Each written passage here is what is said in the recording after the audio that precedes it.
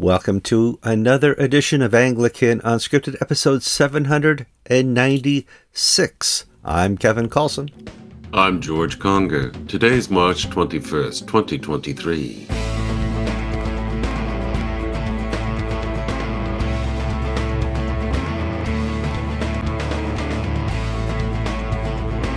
All right, welcome to another show of Anglican Unscripted. We're glad you could join us, taking time out of your schedule, and we respect that. That's why we only put out one hour shows. We know that your time is valuable and that, you know, you wouldn't want a two or three hour show, but we're going to do one hour twice a week for your enjoyment. So, welcome. Before we get too far into the program, before you really form an opinion about how good this episode is, please like us on YouTube and Facebook. That helps with free advertising and gets word around about uh, Anglican Unscripted. We've actually had a couple viral videos that have gone uh, out as we did some commentary on Asbury. Uh, revival, and um, that was cool. We like having uh, a little excessive viewership once in a while. Um, if you get a chance, go to the comment section. That's where things really happen. The show really never ends until the comments stop.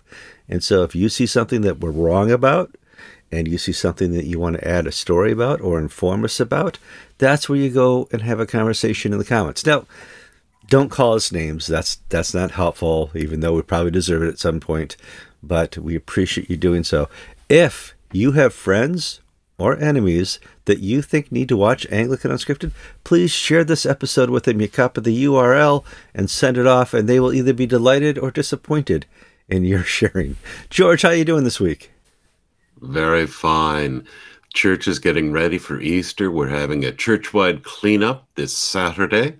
Where we're scrubbing from top to bottom so that when Palm Sunday week begins and Holy Week, we'll be all set for a beautiful Easter Sunday. That's great. Now, I people who've never visited uh, Florida in the early spring probably don't realize that this is pollen season here.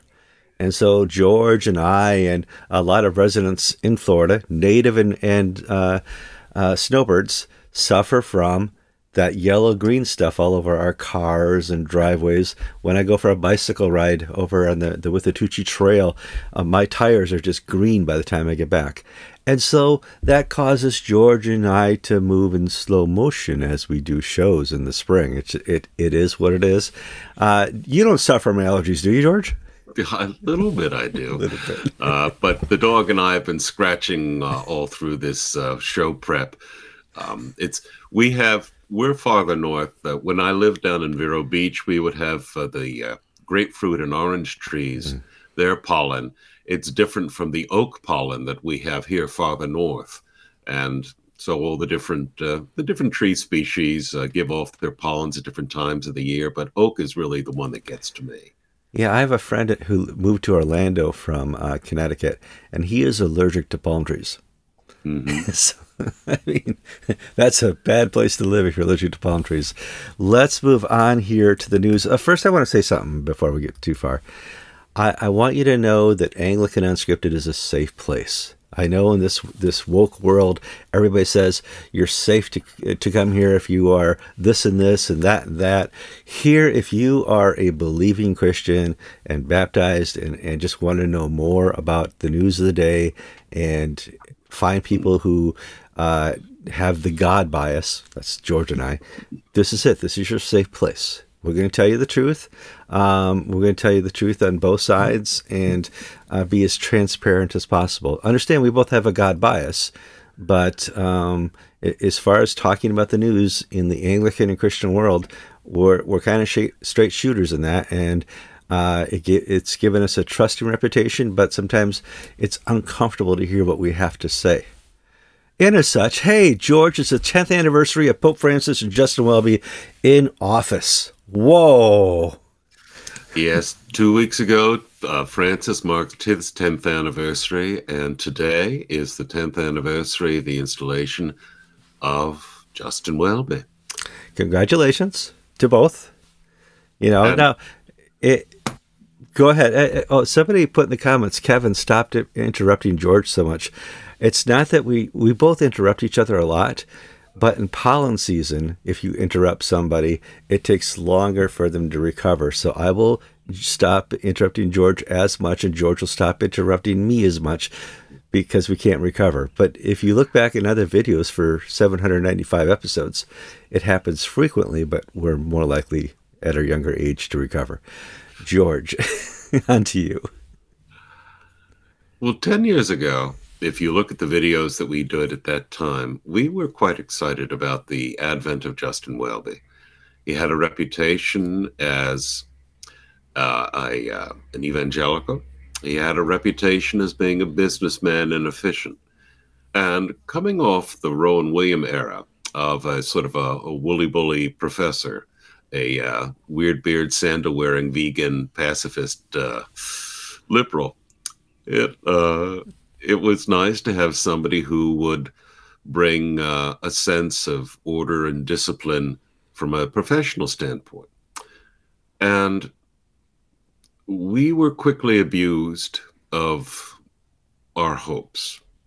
Uh, Justin Welby did not turn out as we had expected. And uh, we held on a lot longer than some other people. Some other people were saying from the very beginning, no, he's not an evangelical. He's he came up through the Holy Trinity HTB network, but he's more of a charismatic than an evangelical. And I really didn't see the distinction there. But now that we're 10 years on, uh, I don't really see him as an evangelical. I see him as a company man driven a lot by emotion, a lot by institutions. And it's it's difficult to assess him uh, because sometimes we seem to verge on the personal in the criticism uh, because of the style that he's brought, and I get uneasy about that. Well, I that, think that form of criticism. Yeah, I think the Crown Nomination Committee got what they were looking for. Mm-hmm. They wanted somebody who could come in after Rowan Williams and try their very best at all cost, at all cost, to keep the unity and the peace no matter mm-hmm. where the direction of the, the liberal church was going, no matter what the Episcopal Church had decided to do, or the Anglican Church of Canada, or Scotland, uh, or the Church of England. Whatever decisions that are made in the next 10 years, Justin Welby, we, we hope and pray that this promise you're making to the Crown Nomination Committee to, to keep the peace works. So I think, as far as they're concerned, he's doing a fine job. Uh, there hasn't been an, a breakup any officially yet. Um, yes, tensions are strained. The the fabric is torn, but until uh, uh, the global South and GAFCON make a a, a pronouncement together that uh, they're moving on, you know, I think uh, Welby has, to the best of his ability, maintained that unity. Uh, it doesn't look good from my perspective. Uh, it's not the decisions I would have made. Um, I'm sure George would have made uh, different decisions if he were the Archbishop of Canterbury. But, uh, you know, 10 years on, it could have been worse. If you could imagine uh, a Katharine Jefferts Schori as the Archbishop of Canterbury, or Michael Curry, or I could I could list five or six uh, uh, bishops from the UK that would have done far worse. I, you know, I, I want to take this as a big standpoint. Has he done good for the church? No. Has he done good for uh, the body of Christ? In my humble opinion, not really. Um, but he, the, I can think of highlights when he goes to South Sudan, when he goes to uh, make uh, introductions and tries to keep the peace internationally outside of the Anglican Communion. He does an okay job. Certainly, I, I think there are some things he will put point to with pride mm-hmm. over his tenure as Archbishop of Canterbury. However, he doesn't seem to be the man for the times. Um, he can be a little tone deaf in the sense that he can't seem to really read uh, the uh, read the room, as Giles Fraser recently put it in an article. He doesn't seem to have the ability to move on his feet quickly, other than to sort of pander to the the audience. He has a bad reputation for saying things that people want to hear when they're with him, and then moving on to say not not the opposite, but shading his words to fit the congregation. So things he would say to a conservative audience, he won't say to a liberal audience, rather. And the one the thing about Rowan Williams, if you compare the two, is Rowan Williams had his strengths and his weaknesses, but Rowan Williams was fairly consistent in his words. Um, he didn't shade things the way Justin Welby does. Now that may be part of uh, his Welby's business background of sort of uh, trying to make sure that everybody gets on by saying the things people want to hear, but it's not been helpful for the, for the institution. So in the quest for unity, he's actually driven it farther apart rather than closer together. Mm-hmm. Well, there's that, and when Rowan Williams speaks, you have to really hone on to hone into what the exact message was. He's able to speak at an intellectual level that uh, lay people like myself, you know, about four rungs down the ladder, go, you know, that sounded really good. George, was that good? And George would say, mm-hmm. "Yeah, that was good." You know, you, you have to look to, to, to other people for interpretation. When Justin Welby speaks, he has more of that lay presence in his his uh, speaking, so that people like me can understand, and I can immediately discern good or bad when uh, Justin Welby is is giving a sermon. It's not mm-hmm. that difficult. Where with Rowan, he he spoke at a more uh, theological level than I that I'm prepared to to discern, so to speak. One of those. Um, so, but in a such, you know, th- there's good things that Justin Welby has done in ten years, and things that are just beyond belief. But the same can be said about Pope Francis. We, ha- I had okay, I had hope in a South American uh, person becoming the Pope and maybe that would bring more uh, um, evangelical presence to the Roman Catholic Church. I am wrong. I can admit it. My hope in Pope Francis and Justin Welby has not served me well, George. Yeah, and really, the we we speak about the crisis in the Anglican world, and but I think right now with the German potential schism, the Catholic world is facing a crisis just as major and massive for them. Yeah. Where Francis is essentially not given his overt support to the moves taken by the German bishops to change uh, church doctrine on marriage and human sexuality, but no, neither has he spoken out to oppose it. So we have two men who seem genuinely to enjoy each other's company. They like each other, just as Benedict and Rowan Williams got along famously. Correct. Yeah, both were theologians. Mm-hmm. We have uh, uh, Jorge Bergoglio and Justin Welby seem to get on just wonderfully. Now, what what now? Be careful. What is that? What is that telling us? Um, B string people like each other. It's it, it is what it is. You know. Um, yes, what is it telling us? But both churches will certainly divide if the course that they're on continues. Mm-hmm. And I, you know, I want to use a secular term here that silence is violence. If Pope Francis won't give his opinion on what's happened in the in the German Roman Catholic Church, it will split. Mm-hmm. And it was mostly because he wouldn't say something. So, uh, I I pray for Justin Welby. Mm-hmm. Uh, well, first off, I am conscious. Many a time I have spoken rather harshly about him, and I feel badly about that because I don't know the man's soul. And I would say that he seeks to do the good. I mm-hmm. will not. I will not say that Justin Welby's a bad man or is, has been, uh, been uh, has malign motives. I don't understand his motives all the time. I disagree with his quest for unity at all costs, but I think he genuinely wants to achieve what he thinks is what God wants, which is unity. I don't agree with that, that that is what God's primary choice is. And sometimes I personally stretch, you know, step into being censorious uh, of the person rather than the the actions, and I shouldn't do that. So that's that's my caveat.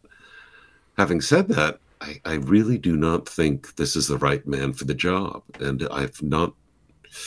I'm not hopeful that it's going to get any better, um, because I see where he. I see that he's working from a, a worldview where unity, unity, unity, truth be damned, if you will. Uh, and what it has led to is the greatest disunity that the Anglican world has ever seen. And I don't want to blame Justin for that because I think stuff like the instruments of unity have set this all up for failure. Mm-hmm. Um, you know, some people say we need a pope in the Anglican Church. Certainly not. It, it doesn't mm-hmm. work very well for the Roman Catholics. It wouldn't work for us in any way, shape, or form either. Uh, but in as such, there has to be a a decision making body. And as far as the Anglican Communion is concerned, in its nouveau approach, the uh, decision making bodies are uh, the primates, nah, but they can't talk, uh, Lambeth, but they don't make any theological decisions, uh, the AAC, but they can't make any theological decisions, or the Archbishop of Canterbury, who has decided that he's going to be AWOL when it comes to making hard decisions. It, there, it, it's going to fail.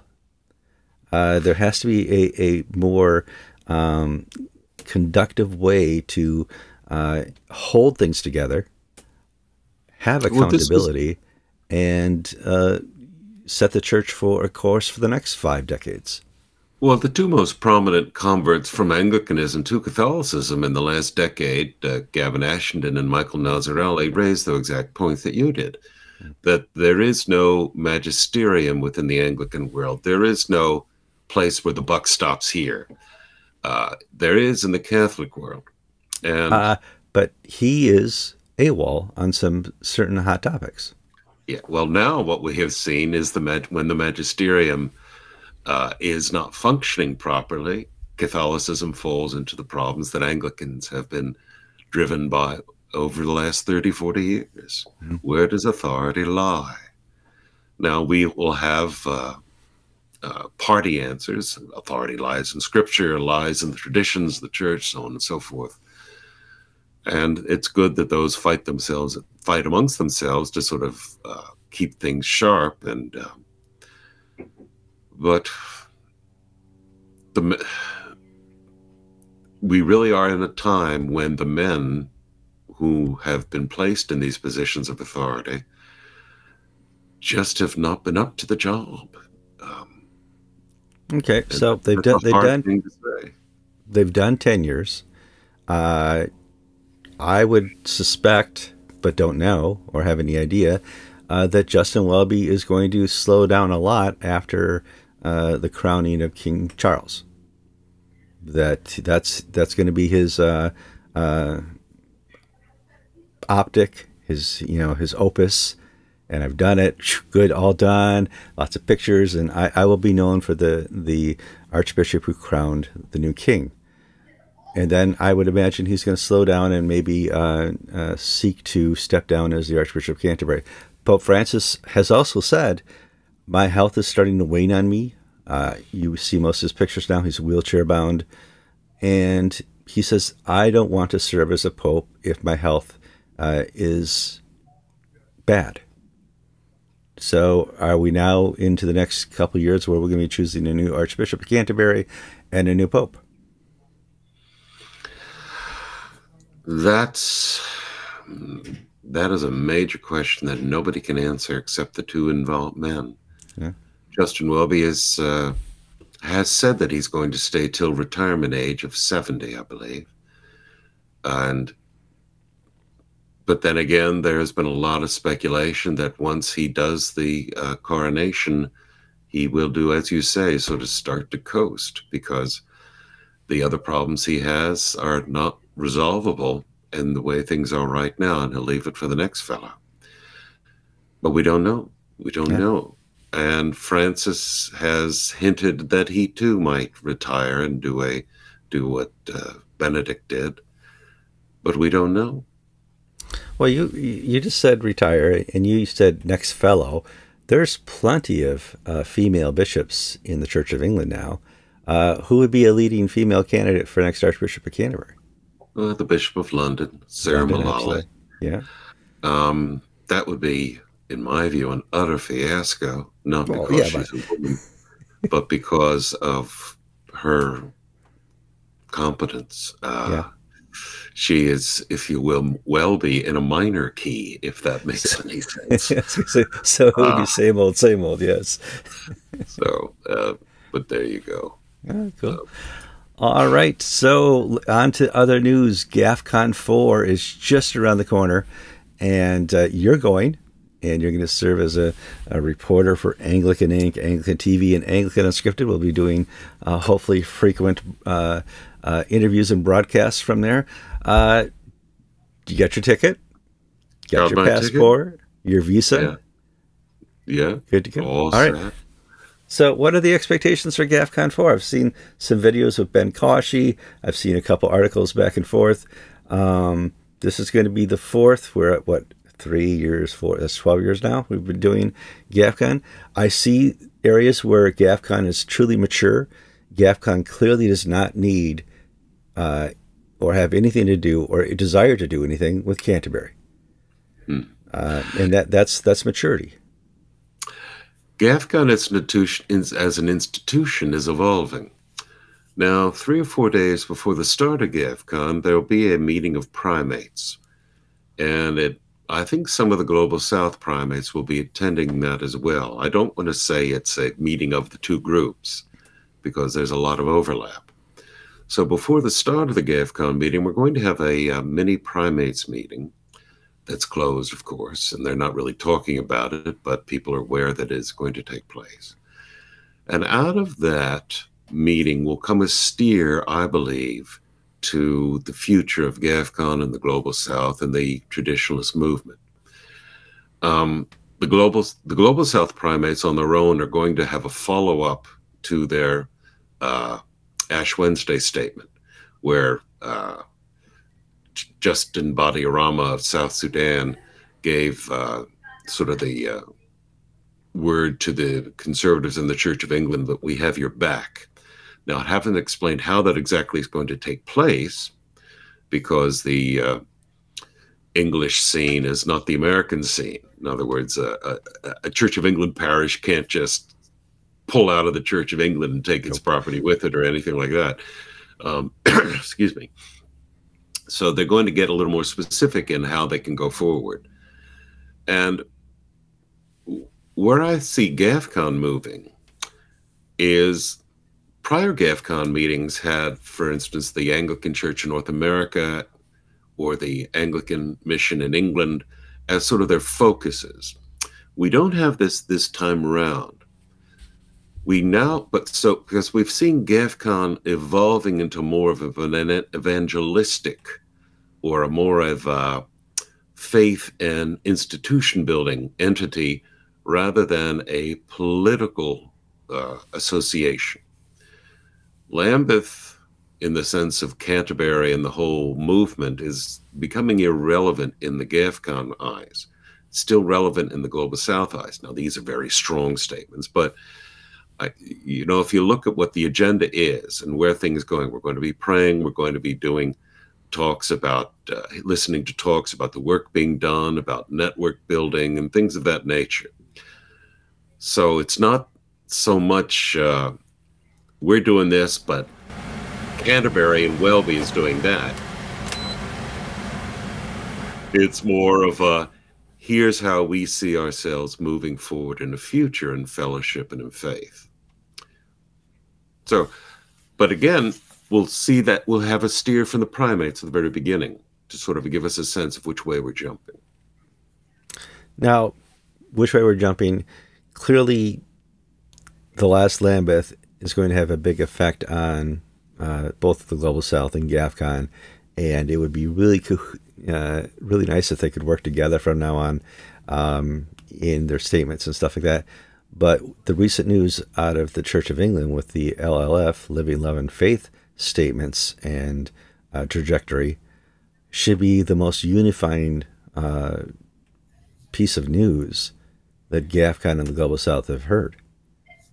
You know that that should that that that should give you a clear idea of where the Church of England is, where the Church of England is going, and the leadership role that the Archbishop of Canterbury has chosen to be a person who will not conduct blessings but fully supports them, a person who fully uh, supports the blessing of gay weddings but won't conduct them himself. Well, the Bible set, identifies that type of person, and the New Testament is not kind in its identification of that type of person, especially if they're the Archbishop of Canterbury, George. Well, this GAFCON meeting and the subsequent Global South meetings are going to define what they think is happening in the Church of England. Because I don't even think the Church of England knows what's happening in the Church of England. Um, because this this this recent vote to authorize gay uh, gay blessings and pastoral work and all that that has to come back to the synod in July. And the Church of England's bishops can basically take a number of courses. They can basically say, okay, we've seen the reaction, we've seen the response, we've seen these parishes in England saying, no, we're going to cut out the money. Oops, we made a mistake. And we need to go back to the drawing boards. We could, eh, or all the way to, well, it's a done deal. It's just now going to dot the I's and cross the T's. And the trajectory is towards gay blessings and towards full inclusion, sort of what Archbishop of York Stephen Cottrell has been saying. Mm-hmm. There is no firmness where on this spectrum of uh, where they're going to wind up.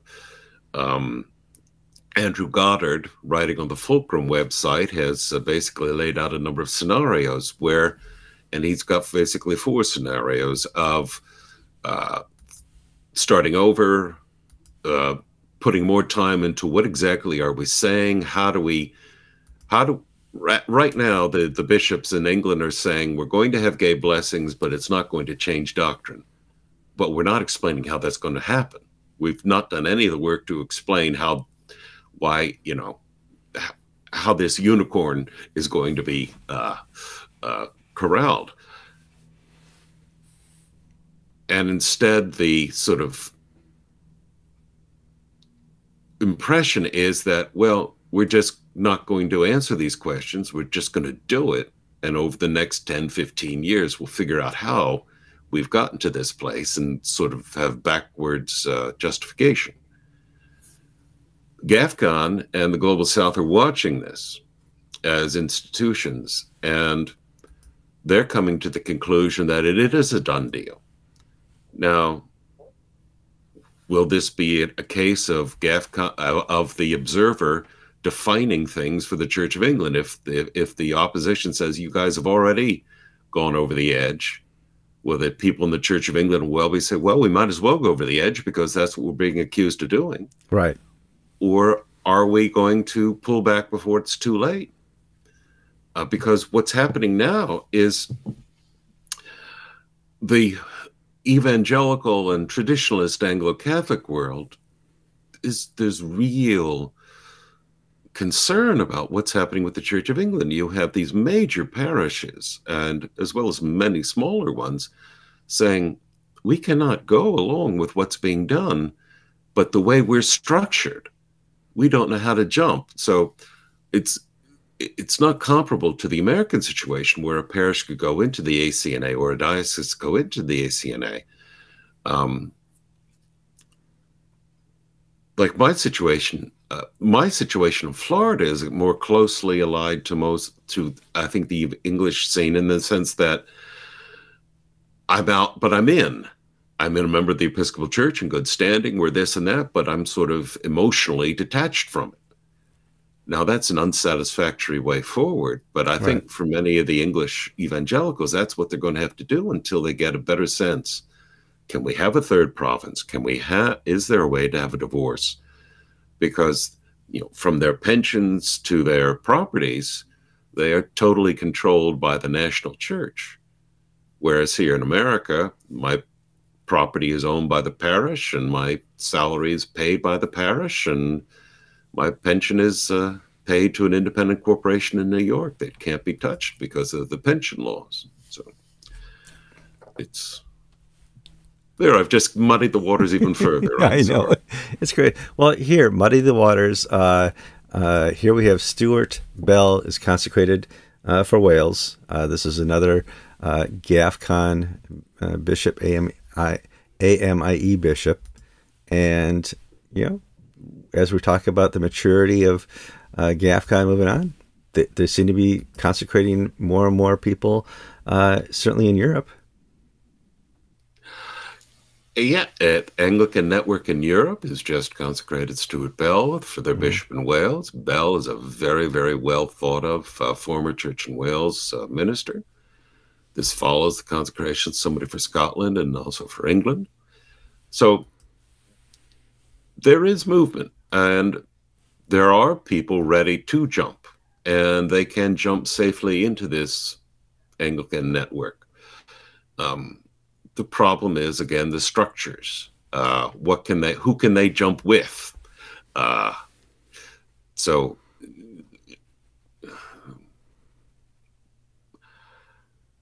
Do I? How should I say this? I think the momentum is in favor of the ANIE and the GAFCON movement in England and in Europe. What is holding it back are the institutional hurdles. Now, so what? There's going to be, there's got to be a lot more pain. I hate to put it in that way. No, it, but that's true. We here we had the pain of Katharine Jefferts Schori sending out letters to 770 priests saying, "Oh, by the way, you're fired." Yeah. Okay. That we don't have that exact pain going on yet in the Church of England because they don't need to. We have you uh, hooked into the Church of England. Uh, we give you the authority to uh, have a uh, license to officiate, or we can take it away. We provide the church where you uh, officiate, or we take it away. You know, it, it's all self-contained. With it's a self-contained entity, the Church of England. Mm. There's got when I say there's got to be a lot of more pain, pain for those people like the English equivalent of the Georges, who uh, are in but out. They're either going to be kicked out. There's only either be a great another great ej ejection going back to the 17th century when the Puritans were kicked out of the Church of England.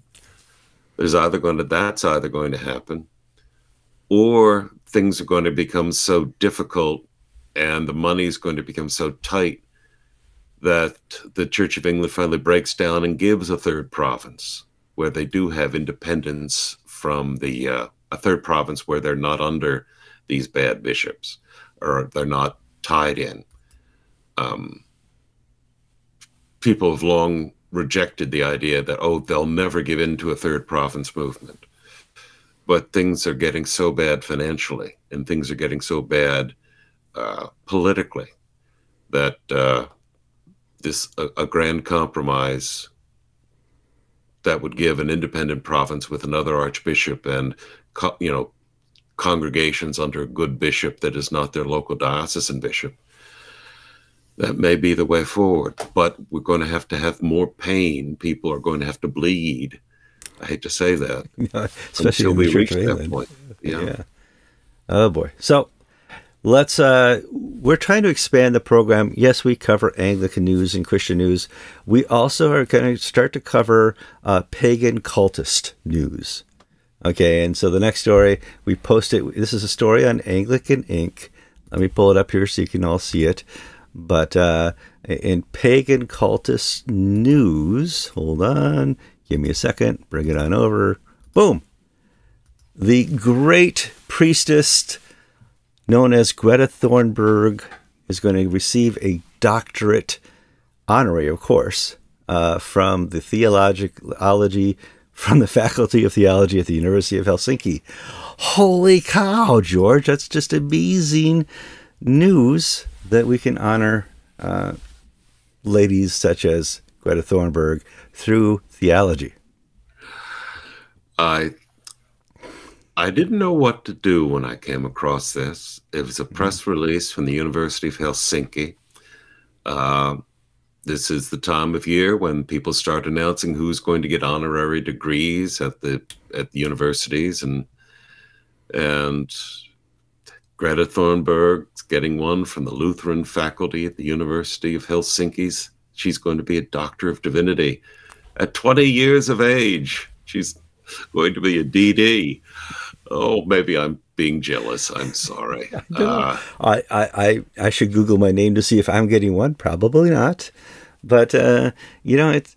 Um, but the th- thing is, Kevin, you know, we've been joking that this for for the extremists, climate change has become a religion. Now, it really has become a religion where their high priestess is getting honorary doctorates from theology faculties as if she were the Dalai Lama or something yeah. for her for her work in uh, spirituality and theology. Uh, she's not getting a doctorate from the School of Environmental Studies or the faculty of uh, forestry, you know, something related to environmental. She's getting it from the theology faculty. What is this telling us? Well, what tells us about the University of Helsinki that the, the Finns, they're uh, getting wild, but uh, oh well, my goodness. I mean, we have to live into this reality that um, the worship of the earth and concern for the earth is really nothing new. Uh, when I was a, a child in the 70s, it was acid rain that was going to to kill me. Um, it, it is what it is. And uh, th- there's a famous, uh, is it a poem?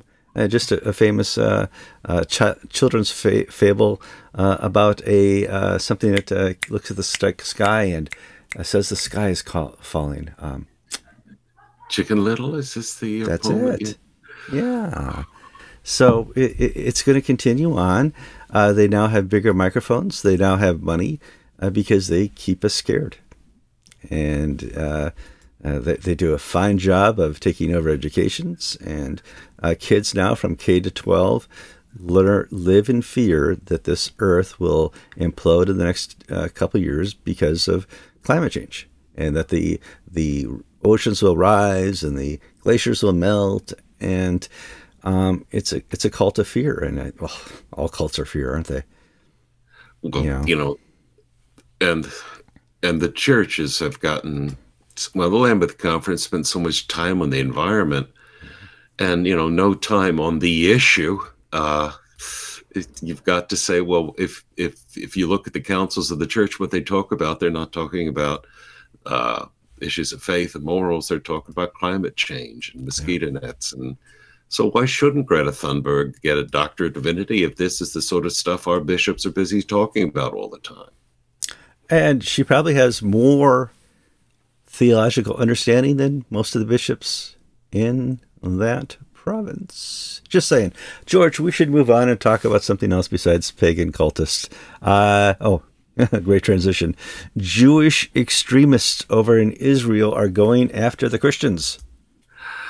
Yeah, this is a worrying some trend. Uh, around Christmas time, we had the report of uh, two uh, Jewish teenagers uh, uh, vandalizing the Protestant cemetery belonging to Christ Church Jerusalem. Mm-hmm. Recently, we had a uh, Jewish man from New York uh, destroy one of the stations of the cross on the Via Dolorosa that pilgrims follow to yeah. r- recount Jesus's walk to crucifixion.